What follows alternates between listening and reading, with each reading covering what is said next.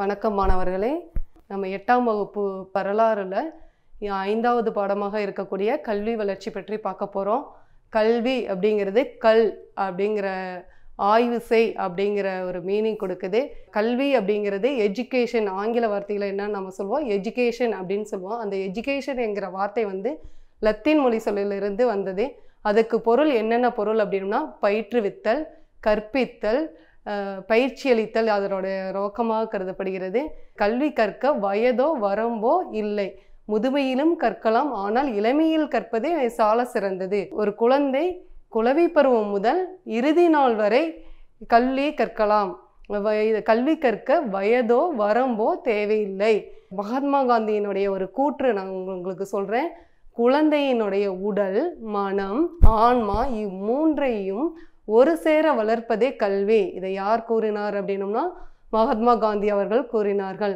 நோக்கங்கள் நம்ம இந்த பாடத்தில் என்னென்ன பகுதி டாபிக் பார்க்க போகிறோம் அப்படிங்கிறது பண்டைய கால இந்தியாவினுடைய கல்வி முறை முறையை பற்றி அறிதல் இடைக்கால இந்தியாவினுடைய கல்வி முறையை பற்றி புரிந்து கொள்ளுதல் க நவீன கால வள வ கல்வி வளர்ச்சியை பற்றியே புரிந்து கொள்ளுதல். பண்டைய காலத்தில் மாணவர்கள் வந்து எப்படி படித்தாங்க எந்த மாதிரியாக படித்தாங்க அப்படிங்கிறது குருகுல கல்வி மூலம் நம்ம தெரிந்து கொள்ளலாம். கேடில் விழிச்செல்வம் கல்வி ஒருவருக்கு மாடல்ல மற்றவை எவை? இது திருக்குறளில் இரண்டு வரிகளில் கல்வியை பற்றி கூறியிருக்காரு. ஒருவனுக்கு அழியாத செல்வமாக இருக்கக்கூடியது கல்வி. பொன் பொருள் மலை புயல் ஆகிய அனைத்தும் அழிந்தாலும் கூட நமக்கு அழியாத செல்வமாக கருதப்படுவது கல்வி. கல்வி என்பது மனிதனுடைய மூன்றாவது கண். மனிதர்களுக்கு எப்படி இரண்டு கண்கள் முக்கியமோ அதே மாதிரி மனிதனுடைய மூன்றாவது கண்ணாக கருதப்படுவது கல்வி. கல்வி என்பது அறிவு திறன்கள் மதிப்புகளை பெறுதல் தன்னிடம் இருக்கக்கூடிய அனைத்து உண்மைகளையும் பகிர்தல் போன்றவையை ஒரு தொடர்ச்சியான செயல்முறையாகும். கல்வி என்பது ஒரு முற்போக்கான சமுதாயத்தினுடைய அடித்தளமாகும். கல்வி என்பது ஒருவருடைய உள்ளார்ந்த செயல்களை மன சிந்தனையை வெளிக்கொணர்வதே கல்வி ஆகும் நம்ம இப்போ பண்டைய கால இந்தியாவினுடைய கல்வி வளர்ச்சி பற்றி பார்க்க போகிறோம் தொடக்க காலத்திலிருந்தே பண்டைய காலத்திலிருந்தே கற்றல் கற்பித்தல் முறை இறந்ததாக வரலாற்று ஆதாரங்கள் இருந்திருக்கு. நம்ம வேதங்கள் அப்படிங்கிறது நம்ம ஆறாவதுலேயே படிச்சிருக்கிறோம். என்னென்ன வேதங்கள் படிச்சிருக்கோம்? ரிக்வேதா யஜுர்வேதா சாமவேதா அதர்வண வேதா என்ற நான்கு வேதங்கள் படிச்சிருக்கிறோம். வேதங்கள் அப்படிங்கிற சொல் எந்த மொழி சொல்லிலிருந்து வந்தது? வித்து என்ற சமஸ்கிருத மொழி சொல்லிலிருந்து வந்ததாக கூறப்படுகிறது. அந்த வித் அப்படிங்கிறது அறிவு அல்லது அறிதல் எதையும் அறிந்து செய்யக்கூடிய செயலாகும். இது பல நூற்றாண்டுகளுக்கு முன்னரே கல்வி உருவாயிற்று. கல்வினா என்னென்ன நம்ம தெரிஞ்சுக்க போகிறோம் பணிவு உண்மை சுயசார்பு அனைத்து படைப்புகளின் மீதும் மரியாதையுடன் இருத்தல். ஆகிய மதிப்புகளை வலியுறுத்துகிறது. நம்ம பண்டைய கால இந்தியாவினுடைய கற்றலுக்கான ஆதாரங்கள். என்னென்ன ஆதாரங்கள் இருக்கு? பாணினி எழுதிய நூல் அஷ்டத்தாயி அப்படிங்கிற நூல் மூலியமாகவும் ஆரியப்பட்டா நம்ம கேள்விப்பட்டிருக்கோம். ஆணவியலில் வந்து சிறந்து விளங்கியவர்கள் வந்து ஆரியப்பட்டா. நம்ம செயற்கைக்கோள் எல்லாமே அனுப்பியிருக்கிறோம். கணிதவியலையும் சிறந்தவர். காத்தியாயனா அப்படிங்கிறவரும் கணிதவியல் சிறந்தவர். பதஞ்சலி அப்படிங்கிறவர் வந்து யோக சூத்திரம் அப்படிங்கிற நூல்கள் மூலமாகவும் சரகர் ஆயுர்வேத மருத்துவத்தின் தந்தை என அழைக்கப்படுபவர் சரகர். சுசுருதர் தற்போதைய அறுவை சிகிச்சையை அப்போதைய பண்டைய காலத்திலேயே கண்டுபிடித்தவர். அவரைத்தான் அறுவை சிகிச்சையின் தந்தை என அழைக்கப்படுபவர் யார் அப்படின்னா சுசுருதர். மருத்துவ குறிப்புகளும் கற்றலுக்கான இவர்களோட குறிப்புகளும் கற்றலுக்கு ஆதாரங்களாக இருந்தன. இது இல்லாமல் ஜாதக கதைகள் சீன பயணியான யுவான் ஸ்வாங் இட் சிங் அவர்களோட குறிப்புகளும் மற்றும் அரசர்களோட குறிப்புகளும் இந்தியாவினுடைய கல்வி வளர்ச்சிக்கு ஆதாரமாக நமக்கு கிடைத்துள்ளன. இதில் என்னென்ன துறைகள் பண்டைய காலத்தில் கல்வி துறைகள் இருந்திருக்கு? வரலாறு தர்க்கம் பொருள் விளக்கம் கட்டிடக்கலை அரசியல் விவசாயம் வர்த்தகம் வணிகம் கால்நடை வளர்ப்பு வில்வித்தை போன்றவைகள் எல்லாம் பண்டைய கால கல்வி முறையில். இப்போ இருக்கக்கூடிய உடற்கல்வி முறையே அத- பண்டைய காலத்திலேயே இருந்திருக்கு. உடற்கல்வியும் ஒரு முக்கிய பாடமாக இருந்தது. மாணவர்கள் குழு விளையாட்டு மற்றும் பொழுதுபோக்குகளில் அதிகம் அதிகம் அக்கறை காட்டினார்கள். மாணவர்களின் திறன்களை ஆசிரியர் மதிப்பீடு செய்வதற்காக இலக்கிய விவாதங்கள் ஏற்பாடு செய்யப்பட்டன. இங்கு எல்லாமே குழு கற்றல் முறை நடைமுறையில் இருந்தது. அனைவரும் ஒன்றாக கல்வி கற்க வேண்டும் அப்படிங்கிறது அந்த குழு கற்றல் முறையின் நடைமுறையில் இருந்தது. பண்டைய கால இந்தியாவினுடைய கல்வி முறை இரண்டு கல்வி முறையை சார்ந்தது. ஒன்று வந்து முறையான கல்வி முறை ரெண்டாவது வந்து முறைசாரா கல்வி முறை. இந்த முறையான கல்வி முறை அப்படிங்கிறது இப்போ நாமெல்லாம் ஆசிரியர்கள் மூலம் பள்ளிகளில் கற்பிக்கக்கூடிய முறைக்கு முறையான கல்வி முறை முறைசாரா கல்வி முறை என்பது சுய இயக்கம் மற்றும் அனுபவத்திலிருந்து கற்றல். த நம்முடைய வீட்டிலிருந்தே நம்ம கற்கக்கூடிய முறைக்கு பெயர் என்ன அப்படின்னா முறைசாரா கல்வி முறை. இது முறையான கல்வி கல்வியை விட முறைசாரா கல்வியானது வித்தியாசமாக ஒழுங்கமைக்கப்பட்டுள்ளது. எங்கெங்க பள்ளிகள் எல்லாம் நடந்திருக்கு தனியாக பள்ளிக்கூடங்கள் எல்லாம் அந்த காலத்தில் இருந்ததில்லை. கோயில்கள் இல்லங்கள் பாடசாலைகள் குருகுலங்கள் போன்றவற்றைகளில் கல்வி நிலையங்கள் இருந்திருக்கு. இது இல்லாமல் வீடுகள் கிராமங்கள் மற்றும் கோயில்களில் இருந்த மக்கள் சிறு குழந்தைகளுக்காக பக்தியுடன் கூடிய நேர்மையான வாழ்க்கை முறைகளை வாழ ஊக்குவித்தனர். கல்வி அளிப்பதில் முக்கிய பங்கு வகிப்பது அந்த காலத்தில் கல்வி அளிப்பதில் முக்கிய பங்கு வகிப்பது எதுவாக இருந்தது அப்படின்னா கோயில்கள். சரி சப்போஸ் அங்கிருந்து பள்ளி படிப்பை முடித்து விட்டு கோயில்களில் அந்த படிப்பை முடித்து விட்டு மேற்படிப்பிற்காக விகாரங்கள் பல்கலைக்கழகங்களுக்கு சென்றன. நம்ம பல்கலைக்கழகங்கள்லாம் அந்த பண்டைய காலத்திலேயே இருந்திருக்கு. யூனிவர்சிட்டின்னு நம்ம சொல்லுவோம் தட்சசீல யூனிவர்சிட்டி விக்ரமசீலா யூனிவர்சிட்டி அது நாலந்தா யூனிவர்சிட்டி இந்த மூன்று பல்கலைக்கழகங்களும் பண்டைய காலத்திலிருந்தே இருந்தது. இங்கே வாய்மொழி கற்பித்தல் நடைமுறையில் இருந்தது. குருகுல கல்விமுறை குரு அப்படிங்கிறது ஆசிரியர் குலம் அப்படிங்கிறது ஆசிரியர்களின் வீடுகளில் தங்கியிருந்து படிக்கக்கூடிய முறைக்கு குருகுல கல்வி முறை. மாணவர்கள் ஏதாவது ஒரு கல்வியையோ கலையையோ தேர்ந்தெடுத்து குருகுலத்திற்கு செல்வர். அங்கு குருகுலங்களில் அந்த மாணவருக்கு ஆர்வம் இருக்கிறதா என்று குருவால் சில சோதனைகள் செய்த பின்புதான் குருகுலத்தில் சேர்த்து கொள்ளப்படுவார். அந்த சோதனையில் வெற்றி பெற்றால் மட்டும்தான் அங்கு குருகுலத்தில் சேர்த்துக்கொள்வர் குருகுலத்தில் சேர்த்து கொள்ளப்பட்ட மாணவர்கள் மாணவர்கள் வீட்டிலிருந்து உபநயனம். இது முக்கியமான பாயிண்ட்டுக்குன்னு இது உபநயனம் அப்படிங்கிற ஒரு சடங்கு செய்த பின்பு தான் வீட்டிலிருந்து குருகுலகத்திற்கு செல்வர். இந்த உபநயன சடங்கு எந்த வயது முதல் எந்த வயது வரை நடைபெறும் அப்படின்னா எட்டு வயது முதல் பனிரெண்டு வயது வரை உள்ள குழந்தைகளுக்கு இந்த சமய சடங்கு செய்து செய்து பின்புதான் குறுங்குலகத்திற்கு செல்வர். குறுங்குலகங்களில் வாழ்ந்த மாணவர்களுக்கு என்ன பெயர் அப்படின்னா பிரம்மச்சாரிகள் அப்படின்னு பெயரு. குறிப்பிட்ட ஆண்டுகள் இங்கு தங்கி இருக்க வேண்டும் குறைந்தபட்சம் பனிரெண்டு ஆண்டுகள் வந்து தங்கி இருக்க வேண்டும். குருகுலத்தில் வாய்மொழி கற்றல் கற்பித்தல் நடைபெறுந்தது குருவுக்கும் மாணவனுக்கும் இடையே உறவு வலுப்பெறும் இடமாகவும் கருதப்பட்டது. குருவின் வீட்டில் குடும்ப உறுப்பினர்கள் போல் மாணவர்கள் வாழ்ந்து வந்தனர். மாணவர்கள் குரு கூறியதை வாய்மொழி கற்றல் முறையே நடைமுறையில் இருந்தது குரு கற்றுக் கொடுப்பதை ஆள் சிந்தனையிலும் உண்டாந்த மனநிலையிலையும் வைத்துக்கொள்ள வேண்டும். மாணவர்கள் அனைவரும் ஒன்றாகவே தங்கி படித்தனர். பல குருகுலங்கள் முனிவர்களின் பெயராலேயே அழைக்கப்பட்டன. தொடக்க காலத்தில் ஆசிரியரால் தன்னை சுற்றியுள்ள மாணவர்களுக்கு கல்வி கற்கப்பட்டது. அவர்களை வந்து என்ன என்னென்ன பெயர்களை அழைச்சாங்க அப்படின்னா குரு ஆச்சாரியார் கணக்காயர் என்று பல பெயர்களால் அழைச்சிருக்காங்க. மாணவர்கள் தங்கள் இலக்குகள் அடையும் வரை அல்லது பனிரெண்டு ஆண்டுகள் வரை தங்கள் வீடுகளை விட்டு விலகி குருகுலகங்களிலேயே வாழ்ந்து வந்தனர். இந்த காலத்தில் துறவிகள் மற்றும் பெண் துறவிகள் விவாதிப்பதற்கும் அவர்களின் அறிவு தேடலுக்காகவும் க விவாதங்கள் செய்வதற்காகவும் ஆலோசிப்பதற்காகவும் பல மடாலயங்கள் மற்றும் விகாரங்கள் ஏற்படுத்தப்பட்டன. குருவிற்கு குருதட்சணையாக கல்வியை முடித்து வீட்டிற்கு செல்லும்போது மாணவர்கள் பொருளாகவோ பணமாகவோ கொடுத்தனர். குருகுல கல்வி கல்விக்காக அரசர்கள் வணிகர்கள் மற்றும் பொதுமக்களும் பொருள் உதவி கொடுத்தனர். இது இல்லாமல் வெளிநாடுகளிலிருந்தும் நம்ம இந்தியாவில் குருகுல கல்வி முறையில் பயிரலாம் அப்படின்னு மையங்களெல்லாம் இருந்திருக்கு. தட்சசீல பல்கலைக்கழகம் நம்ம முன்னாடியே பார்த்துருக்குறோம்.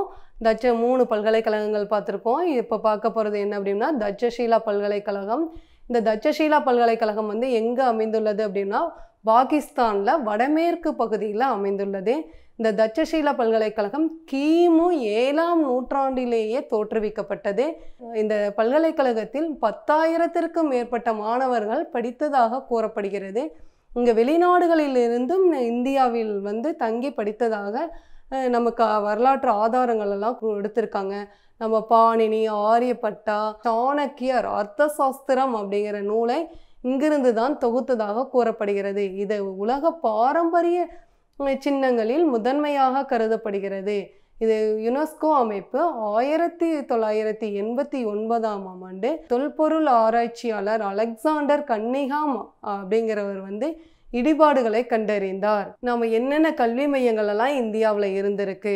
தட்சசீலம் டெல்லி லக்னோ விக்ரமசீலா விக்ரமஷீலாவும் நாலந்தா பல்கலைக்கழகமும் பீகார் மாநிலத்தில் இருக்கு பனாரஸ் அலகாபாத் வார்தா நம்ம தமிழ்நாட்டில் எந்தெந்த இதில் இருக்குது அப்படின்னம்னா மதராஸ் காஞ்சி சிதம்பரம் ஸ்ரீரங்கம் மதுரை போன்ற இடங்களிலெல்லாம் கல்வி மையங்கள் இருந்திருக்கு. விக்ரமஷீலா பல்கலைக்கழகம். விக்ரமஷீலா பல்கலைக்கழகத்தை தோற்றுவித்தவர் யார் அப்படின்னா தர்மபாலர். இது கிபி ஏழாம் நூற்றாண்டில் தோற்றுவிக்கப்பட்டது. பல்கலைக்கழகத்தை வந்து இடிபாடுகளுக்கு உட்படுத்தியவர் யார் அப்படின்னா பனிரெண்டாம் நூற்றாண்டில் முகமது பின் பக்தியார் கில்ஜி அவர்களால் இந்த பல்கலைக்கழகம் இடிபாடுகளுக்கு உட்படுத்தப்பட்டது. நாலந்தா பல்கலைக்கழகம். நாலந்தா அப்படின்னா என்ன அப்படின்னம்னா அறிவை அளிப்பவர். அறிவை அளிப்பவர் என்பது பொருளாகும். நாலந்தா பல்கலைக்கழகத்தை தோற்றுவித்தவர் முதலாம் குமாரகுப்தர். கிபி ஐந்தாம் நூற்றாண்டு முதல் பனிரெண்டாம் நூற்றாண்டு வரை நாலந்தா பல்கலைக்கழகம் கல்வி கற்றலின் முக்கிய மையமாக திகழ்ந்தது. இங்கு மூவாயிரத்திற்கும் மேற்பட்ட மாணவர்கள் கற்றதாக கூறப்படுகிறது. உலகின் மிக பழமையான பல்கலைக்கழகங்களில் ஒன்றாகவும் கருதப்படுகிறது. இந்த பல்கலைக்கழகம் வந்து யுனெஸ்கோ அமைப்பால் ரெண்டாயிரத்தி பதினாறாம் ஆம் ஆண்டு உலக பாரம்பரிய சின்னங்களில் ஒன்றாக கருதப்படுகிறது. பௌத்த சமய அறிஞர்கள் தங்கள் கல்வி பணியை மேற்கொள்ள மடாலயங்கள் விகாரங்கள் மேற்கொண்டன. புகழ்பெற்ற கல்வி மையங்கள் எல்லாம் இருந்திருக்கு தட்சசீலம் நாலந்தா வல்லாபி விக்ரமசீலா ஓடண்டாபுரி ஜகத்தலா போன்றவைகள் எல்லாம் கல்வி மையங்களாக இருந்திருக்கு. ஆசிரியரினுடைய பங்கு மா- மாணவர்களை தேர்ந்தெடுப்பது முதல் அவர்களின் பாடத்திட்டங்களை வடிவமைப்பது வரை அனைத்து அம்சங்களிலும் ஆசிரியர்களின் பங்கு முக்கியத்துவம் வாய்ந்ததாக கருதப்படுகிறது. மாணவரின் திறனில் ஆசிரியர் திருப்தி அடையும் போது மட்டுமே அவர்கள் கற்றலில் நிறைவடைந்தவர் அப்படிங்கிற பொருள் தரும். மாணவர்கள் எந்த கல்வியில் அதிகம் ஆர்வம் இருக்கிறதோ அதே கல்வியையே குரு கற்றுத்தந்தார் இந்த குருகுல கல்வி முறையில் கற்றலில் தேர்ந்த மாணவர்கள் இளைய மாணவர்களுக்கு கல்வி கற்றுக் கொடுத்தனர். பண்டைய கால கல்வி முறையை பற்றி நம்ம பார்த்துட்டோம். இடைக்கால இந்தியாவினுடைய கல்வி வளர்ச்சி பற்றி நம்ம இப்போ பார்க்க போகிறோம் இந்தியா துணைக்கண்டம் நம்ம சொல்லுவோம் நம்ம எந்த கண்டத்தில் இருக்கிறோம் அப்படின்னம்னா ஆசியா கண்டத்தில் இருக்கோம். ஆசியாவில் வந்து இந்தியா அப்படிங்கிறது துணைக்கண்டத்தில் இருக்கிறோம். இந்திய இஸ்லாமிய கல்வியை அறிமுகப்படுத்துவதன் மூலம் இடைக்காலத்தில் ஒரு பெரும் மாற்றத்தை கண்டது. இப்போ வணிகர்களும் படையெடுப்பாளர்களும் தங்களது கலாச்சாரங்களை இந்திய மக்களுடன் இணைத்தனர். அங்கே இடைக்காலத்தில் இந் இஸ்லாமியர்கள் இந்தியாவிற்கு வரையிலேயே வணிகர்களும் படையெடுப்பாளர்களும் தங்களுடைய கலாச்சாரங்களை இந்திய மக்களுடன் இணைத்தன. இதை தவிர சமயம் சமூகம் பண்பாடு மற்றும் கல்வி ஆகியவை முன்னேற்றம் அடைந்தது. முஸ்லிம்கள் ஆட்சி காலத்தில் அறிவின் ஒளிவூட்டமும் விரிவாக்கமும் கல்வியின் நோக்கமாகவே இருந்தது. பதினாறாம் நூற்றாண்டில் முஸ்லீம்கள் பள்ளிகளை நிறுவினார்கள். அது பிரைமரி எஜுகேஷன் அல்லது செகண்டரி எஜுகேஷனை வந்து தொடங்கியிருக்காங்க. தொடக்க பள்ளிகள் இடைநிலை பள்ளிகளை வந்து நிறுவியிருக்கிறாங்க இந்திய இஸ்லாமிய பாரம்பரிய முறையில் கல்வி கற்றல் என்னென்ன கல்வி தான் கற்றுக் கொடுத்துருக்காங்க. இறையியல் சமயம் தத்துவம் நுண்கலை ஓவியம் கட்டடக்கலை கணிதம் மருத்துவம் வானியல் இந்த புகை இந்த கலைகள் எல்லாம் இந்திய இஸ்லாமிய பாரம்பரியங்கள் அடிப்படையில் இந்தியாவில் கல்வி வளர்ச்சி அடைந்தது இன்னும் முன்னேற்றம் அடைந்தது. நகர்ப்புற கல்வியை வந்து ஊக்குவித்தல். இந்தியாவில் வந்து நகர்ப்புற கல்வியை வந்து ஊக்குவித்தோம்னா நம்ம இந்தியா வந்து கல்வி அறிவில் மிக சிறப்பு அடையும் அப்படிங்கிற மூலயமா நகர்ப்புற கல்வியை வந்து ஊக்குவிச்சிருக்காங்க. நூலகங்கள் மூலமாகவும் இலக்கிய சங்கங்கள் மூலமாகவும் ஏற்படுத்தி இருக்கின்றன. மக்தப் அப்படிங்கிறது என்ன அப்படின்னா தொடக்க கல்வி. அதை நம்ம என்னன்னு சொல்லுவோம்னா பிரைமரி எஜுகேஷன் அப்படின்னு சொல்லுவோம். இங்கே பிரைமரி எஜுகேஷனில் என்ன சொல்லித் தருவாங்க? மாணவர்கள் எழுதுதல் வாசித்தல் போன்றவை போன்றவைகளும் அடிப்படை இஸ்லாமிய வழிபாட்டு முறைகளையும் கற்றுத்தந்தனர். மதரசா அப்படிங்கிறது இடைநிலை கல்வி. மேம்பட்ட மொழித்திறனை கற்பிக்க இடைநிலை பள்ளிகள் மே நிறுவப்பட்டன. சுல்தான்கள் மற்றும் பிரபுக்களால் பல மதரசாக்கள் அமைக்கப்பட்டன இதனுடைய இந்த இடைநிலை கல்வியினுடைய நோக்கம் என்ன அப்படின்னம்னா தகுதியான அறிஞர்களுக்கு குடிமை பணிக்கான பயிற்சி அளிப்பது. கல்வி அளிப்பது இதுதான் இதனுடைய முக்கிய நோக்கமாக இருக்குது டெல்லியில் முதன் முதல்ல ஒரு மதராசாவை நிறுவிய முதல் ஆட்சியாளர் அப்படின்னா யாருன்னா இல்துமிஸ். இடைக்கால இந்தியாவில் கல்வி முறையானது உலோமாவின் கட்டுப்பாட்டில் இருந்தது. இந்த உலோமாக்கள் யார் அப்படின்னம்னா அரசர்களுக்கு ஆலோசனை கூறுபவர். அவர்களுடைய கட்டுப்பாட்டில் தான் இந்தியாவினுடைய கல்வி முறை வந்து இருந்திருக்கு. இப்போதைய கல்வி எல்லாமே க- சமயம் சார்ந்த பயிற்சியுடன் இருந்தது. அங்கு மருத்துவம் அரேபிய இலக்கணம் இலக்கியம் மற்றும் தத்துவங்கள் எல்லாமே கல்வியில் இருந்திருக்கு. இந்தியாவில் பெண் கல்வி பரவலாக காணப்பட்டது. அறிவியல் பாடங்களை அதிகமாக கற்றலை வந்து ஊக்குவித்தவர் யார் அப்படின்னா ஜெய்ப்பூர் ராஜா ஜெய்சிங். டெல்லியில் கியாசுதீன் மதரசாவையும் ஷாஜஹானாபாத்தில் மௌலானா சத்ருஜின் மதரசாவையும் தனிநபராலும் பல மதரசாக்கள் உருவாக்கப்பட்டன. ஸ்ரீரங்கத்தில் உள்ள ஐகோபில மடம் கல்வி வளர்ச்சிக்காக செயல்பட்டது. மடாலய கல்வியை தவிர சமண பள்ளிகள் பௌத்த விகாரங்களும் மக்களுக்கு கல்வி வழங்குவதில் முக்கிய பங்காற்றின. இடைக்காலத்தின் பிற்பகுதியில் ஆங்கிலேயர்கள் இந்தியாவில் ஆங்கில கல்வியை அறிமுகப்படுத்தினார்கள். இடைக்கால கல்வி முறையை பற்றியும் பார்த்துட்டோம். இப்போ நம்ம பார்க்க போகிறது என்ன அப்படின்னா நவீனகால கல்வி முறை. நவீன கால கல்வி முறை தற்போது வரையிலுமே இந்த நவீன கால கல்வி முறை வந்து நமக்கு இருந்திருக்கு. ஐரோப்பியர்கள் இந்தியாவிற்கு வருகை தராங்க ஐரோப்பியர்கள்னால் நம்ம மொதல் எட்டாவதுல மொதல் பாடமாகவே என்ன இருக்குது அப்படின்னா ஐரோப்பியர்கள் வரை. யாரெல்லாம் ஐரோப்பியர்கள் இந்தியாவிற்கு வந்திருக்காங்க? போர்ச்சுகீசியர்கள் டச்சுக்காரர்கள் டேனியர்கள் ஆங்கிலேயர்கள் பிரெஞ்சுக்காரர்கள். இவங்க எல்லாமே இந்தியாவிற்கு வருகை புரிந்திருக்காங்க. ஐரோப்பிய சமய குழு வருகையால் இந்தியாவில் க நவீன கல்வி முறை தொடங்கியது. என்ன க ஐரோப்பிய சமயக்குழு வருகையால் இந்தியாவில் என்ன கல்வி முறை தொடங்கியது? நவீன கல்வி முறை தொடங்கியது. இந்தியாவில் மேற்கத்திய கல்வி முறையும் இந்திய கல்வி முறையும் பயின்றன. கிறித்துவ சமய பரப்பு குழுவினுடைய பங்கு ஐரோப்பியர்கள் இந்தியாவிற்கு எதற்காக வந்தார்கள் அப்படின்னம்னா முதலில் வணிகம் செய்வதற்காக வந்தனர். ஆனால் பின்னர் நம்ம இந் நிலங்களை கைப்பற்றி கோட்டைகளை கட்டினார்கள். நம்ம எக்ஸாம்பிளாக வில்லியம் கோட்டை சென்னை செ- ஜார்ஜ் கோட்டை போன்றவைகளெல்லாம் இங்கே கோட்டைகளை கட்டினர். அதன் மூலம் த கலாச்சாரத்தையும் சமயத்தையும் இந்தியர்களிடையே பரப்பலாம் அப்படின்னு நினச்சி இந்தியாவிற்குள்ளார வந்திருக்காங்க யார்? ஐரோப்பியர்கள். உள்ளூர் மக்களுக்கு ஏற்றவாறு கல்வி வழங்கினால் மட்டும் நிர்வாகத்தையும் கலாச்சாரத்தையும் தெரிந்து கொள்வார்கள் என நம்பிக்கை கொண்டிருந்தனர். யாரு? ஐரோப்பியர்கள். இந்தியாவில் வந்து நவீன கல்வி முறையை தொடங்கிய முதல் ஐரோப்பிய போர்ச்சுகீசியர் இயேசு சங்கத்தின் உறுப்பினர் பிரான்சிஸ் சேவியர் கொச்சியில் ஒரு பல்கலைக்கழகத்தை தொடங்கினார். கிபி ஆயிரத்தி ஐநூற்றி எழுவத்தி ஐந்தாம் ஆம் ஆண்டு கோவாவில் முதல் கல்லூரி தொடங்கப்பட்டு அங்கு தற்கிருத்துவம் தர்க்கம் இலக்கணம் மற்றும் இசை போன்ற பட்டங்களும் வழங்கினார்கள். கிறித்துவ அல்லாத குழந்தைகளுக்காக இவாஞ்சலிஸ்டிக் அமைப்பு அப்படிங்கிற ஒரு அமைப்பை கல்வியை அறிமுகப்படுத்திய முதல் சமய பரப்பு அமைப்பாகும். இதை உருவாக்கியவர் யார் அப்படின்னா ஜான் கிர்னாண்டர் அப்படிங்கிறவர் தான் இந்த சமய பரப்பு குழுவை உருவாக்கியவர். ஆயிரத்தி எட்நூற்றி பனிரெண்டில் சிஎஸ் ஜான் என்பவர் தரங்கம்பாடியில் இருபது இலவச பள்ளிகளை நிறுவினார்.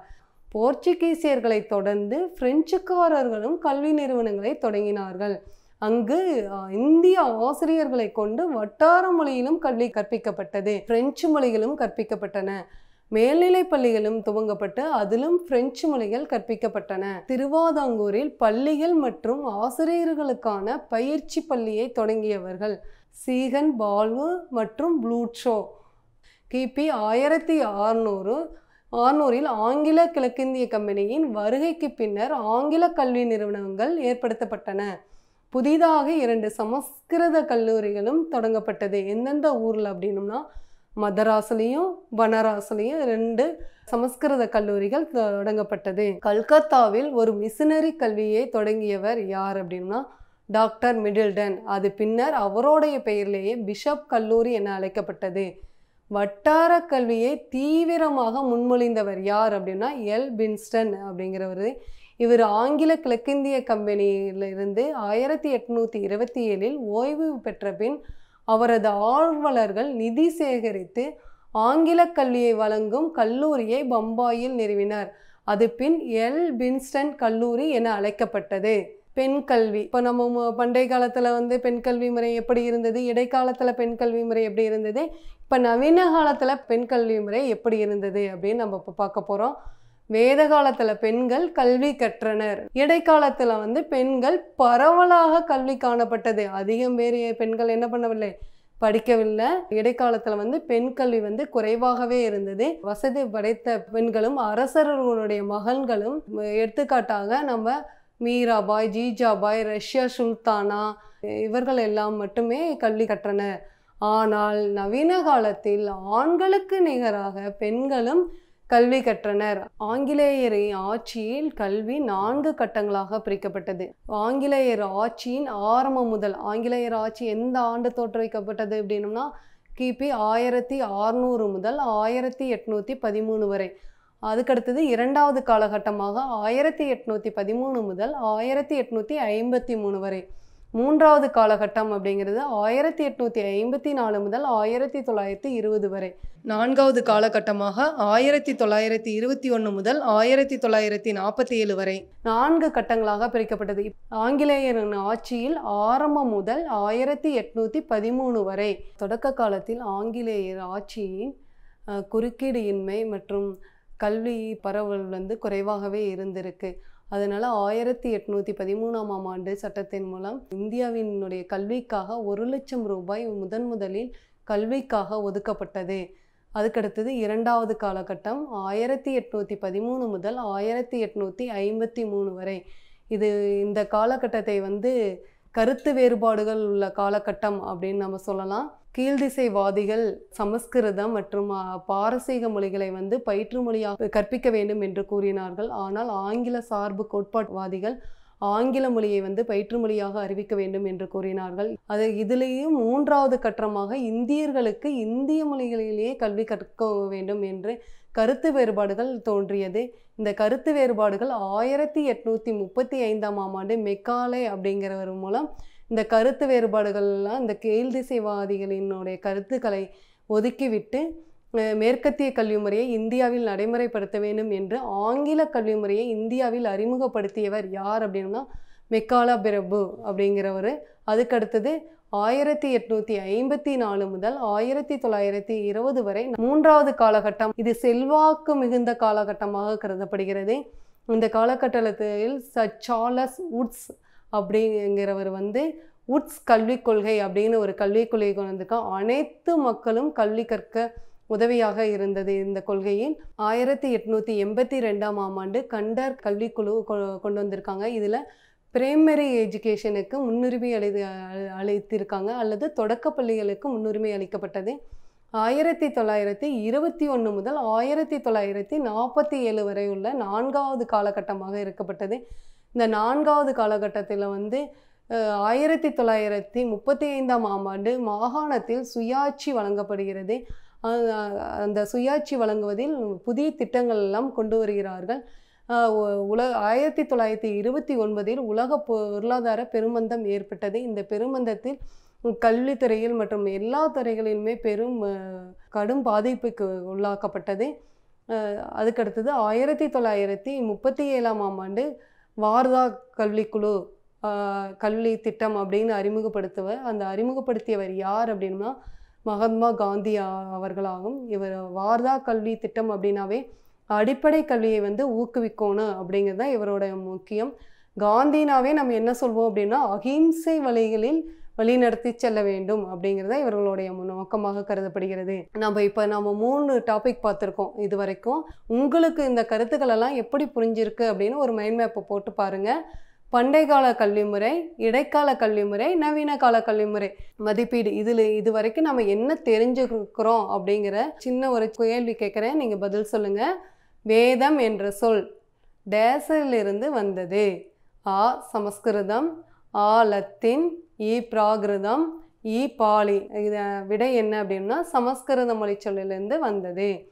ரெண்டாவது கேள்வி பின்வருவனவற்றுள் எது பண்டைய காலத்தில் கற்றலுக்கான முக்கிய மையமாக இருந்தது? இதில் ஆன்சர் வந்து என்ன அப்படின்னா இவை அனைத்தும். இந்தியாவின் மிக பழமையான நாலந்தா பல்கலைக்கழகம் அமைந்துள்ள இடம் என்ன அப்படின்னா இதில் விடை என்ன அப்படின்னம்னா நாலந்தா பல்கலைக்கழகம் பீகாரில் அமைந்துள்ளது. அதுக்கடுத்தது நான்காவது கேள்வி. தட்சசீலத்தை யுனெஸ்கோ அமைப்பு பாரம்பரிய தலமாக எப்போது அறிவித்தது? விடை வந்து என்ன அப்படின்னம்னா ஆயிரத்தி தொள்ளாயிரத்தி எண்பதாம் ஆம் ஆண்டு யுனெஸ்கோ அமைப்பால் பாரம்பரிய தலமாக அறிவிக்கப்படுகிறது. பின்வருவனவற்றுள் சரியானவற்றை தேர்ந்தெடு. நாலந்தா பல்கலைக்கழகம் கிபி அல்லது பொது ஆண்டு ஐந்தாம் நூற்றாண்டில் தோற்றுவிக்கப்பட்டது. பண்டைய இந்தியாவில் மாணவர்களை தேர்ந்தெடுப்பது முதல் அவர்களின் பாடத்திட்டத்தினை வடிவமைப்பது வரை அனைத்து அம்சங்களிலும் ஆசிரியர் முழுமையான சுயாட்சி கொண்டிருந்தனர். பண்டைய காலத்தில் ஆசிரியர் கணக்காயர் என்றும் அழைக்கப்பட்டனர். சோழர்கள் காலத்தில் புகழ்பெற்ற கல்லூரியாக காந்தலூர் சாலை இருந்தது. இதில் எது எல்லாம் கரெக்டு அப்படின்னு கேட்குறாங்க இதில் வந்து ஆன்சர் அப்படின்னா நாலந்தா பல்கலைக்கழகம் ஐந்தாம் நூற்றாண்டில் தான் தோற்றுவிக்கப்பட்டது. அங்கு மாணவர்களை தேர்ந்தெடுப்பது முதல் பாடத்திட்டத்தினை வடிவமைப்பது வரை அனைத்து அம்சங்களையும் ஆசிரியர் வந்து முழுமையான சுயாட்சி கொண்டிருந்தனர். பண்டைய காலத்தில் ஆசிரியர் குரு ஆச்சாரியார் கணக்காயர் என்றும் அழைக்கப்பட்டனர். அப்போ இது மூன்றும் கரெக்டு அடுத்தது சோழர்கள் காலத்தில் புகழ்பெற்ற கல்லூரியாக காந்தலூர் சாலை இருந்தது. ஆனால் காந்தலூர் சாலை கிடையாது. சதுர்வேதி மங்கலம் வந்து இருந்திருக்கு. அதனால் ஆ ஆ மற்றும் ஈ சரி. நாலாவது விடை வந்து சரியான விடை. இந்தியாவிற்கு ஐரோப்பியர்கள் எதற்காக வந்தன? அப்போ விடை என்ன? ஈ. ஆயிரத்தி எட்நூற்றி பன்னிரெண்டாம் ஆண்டு தரங்கம்பாடியில் இருபது இலவச பள்ளிகளை நிறுவியவர் யார்? விடை என்ன அப்படின்னம்னா சிஎஸ் ஜான். அதுக்கடுத்தது டெல்லியில் மதராசாவை நிறுவிய முதல் ஆட்சியாளர் யார் அப்படின்னம்னா விடை வந்து ஆ. இல்துமிஸ். நீங்கள் வீட்டில் வந்து இந்த கீழ்காணும் இடங்களை இந்திய வரைபடத்தில் குறிங்க. நாலந்தா தட்சசீலம் வல்லாபி காஞ்சி விக்ரமஷீலா டெல்லி கொச்சி கல்கத்தா மதராஸ் சிதம்பரம் இடங்களை இந்திய வரைபடத்தில் குறிங்க. நன்றி.